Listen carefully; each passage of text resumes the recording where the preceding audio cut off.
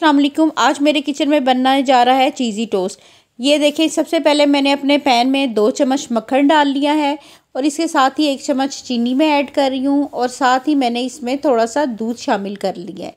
और जैसे ही दूध शामिल किया है, उसके साथ ही मैंने इसमें चीज़ के दो स्लाइस जो हैं, वो मैं डाल रही हूँ।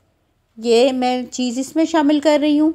ये मैंने चीज़ इसमें शामिल कर दी है और इसको हल्की आँच पे, बहुत ही हल्की आँच पे इसको गर्म होने देना है, आहिस्ता आँच से। और इसमें बाद में चम्मच हिलाते जाना है, ये देखें, ताकि जो है वो चीज़ आपकी नीचे ना लग जाए।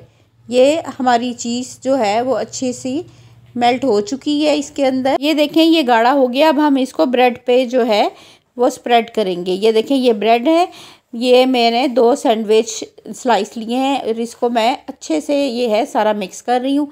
जब ये सारा मैं अच्छे से लेप कर लूँगी, फिर मैं इसको दस मिनट के लिए अपने ओवन में रखूँगी। ये देखें अच्छी इस तरह जो है हो गया है। बस ओवन में जा रहा है और फिर बन के तैयार है। ये देखें मज़े के चीज़ी टोस्ट तैयार है। आप इसको अपने घर में ट्राई करें। बड़ी जल्दी जल्दी बनने वाली रेसिपी है ये और बहुत ही टेस्टी और आम फ्रेंच टोस्ट से हटके है। मुझे दुआओं में याद रखें, मेरे चैनल को सब्सक्राइब करें। अल्लाह हाफिज़।